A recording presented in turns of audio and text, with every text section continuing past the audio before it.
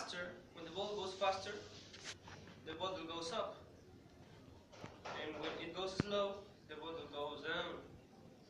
So, in this diagram, uh, I could explain how, what's happening uh, with the ball and with the tension. Um, here is a point of tension, and here is another point of tension that is represented by the wave, and in this case is the bottle, and is is making an opposition to down, in opposite to the first point that is here. And centripetal force always goes uh, to the center, goes inside, and the tension is represented by the trend that is here. Uh, we can see this in the Newton's second law.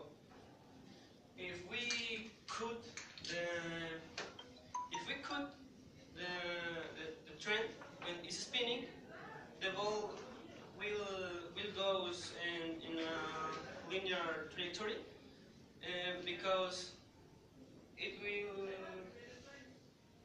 That's what the centripetal force says. This is the tension, and the strength doesn't let it go in a linear trajectory. And when disappears, the point, that this point of tension and this point of tension, this force disappears too.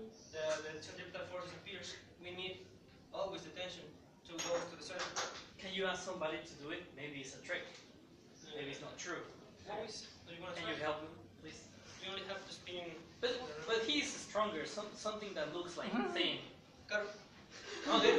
Hello, please. just spin it. Yeah, this guy who does exercise.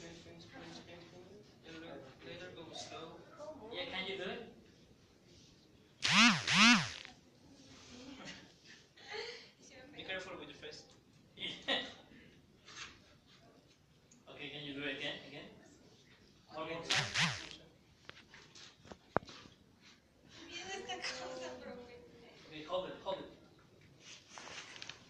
Okay, now you're holding it with your hand.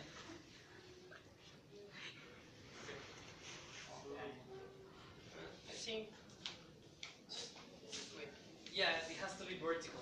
Yes.